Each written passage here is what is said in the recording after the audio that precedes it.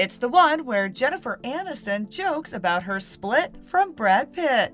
The actress joined Ellen DeGeneres for the talk show host's final episode this week and teased that she handled the end of her iconic sitcom Friends with some major personal changes and a movie that may have been art imitating life. I want to talk about the ending of Friends. Oh. because you were very Yeah. for the for the show, not the reunion, but for the show. Right. What did you do to deal with? How did you do, deal with that? Well, oh, the ending of Friends. Well, I, you know, well, I went, I got a divorce and went into therapy. That's, Uh, and then, uh, and then, um, oh, and then I did a movie called The Breakup. I just kind of leaned into the end.